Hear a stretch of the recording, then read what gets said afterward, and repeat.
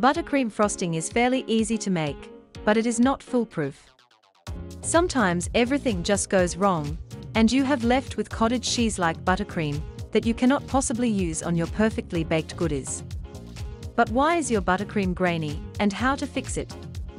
Buttercream is an emulsion, this means that it is a mixture of fat and liquid, two things that normally would not be together.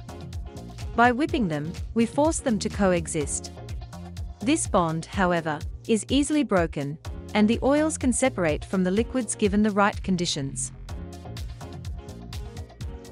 There are many reasons your buttercream did not work out. The main one is the temperature of the ingredients. Cold butter will not mix evenly with the sugar, and it will create lumps. If you did not sift your powdered sugar, it will also be difficult to dissolve evenly in the butter. Make sure your sugar is always lump-free before using it, as it tends to get humid and clump together. Before getting into the tips, be mindful that maybe you are undermixing the frosting. Try mixing it a few more minutes at high speed. The difference between grainy and creamy can take a little bit, but it does come eventually in most cases if you did not commit the aforementioned mistakes. If it does not fix itself, try one of the following hacks. 1. Adjust the temperature. If the bowl is too cold, you can wrap a hot towel around it or mix over a double boiler to warm everything up and hopefully melt the butter a little bit more. If it is too hot because the butter you used was melted or runny, or it is summer, mix over an ice bath, or add cold butter instead of room temperature butter. 2. Add melted chocolate. You can also try adding melted chocolate.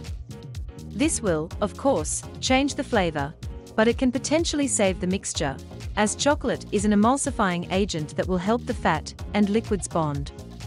To do this, start by melting enough chocolate to cover half the amount of butter that is in the mixture. While still mixing, pour into the buttercream. If you find this is not enough chocolate, you can always add some more. If you cannot fix it, and there are not enough ingredients for another batch, it is time to bring out the big guns.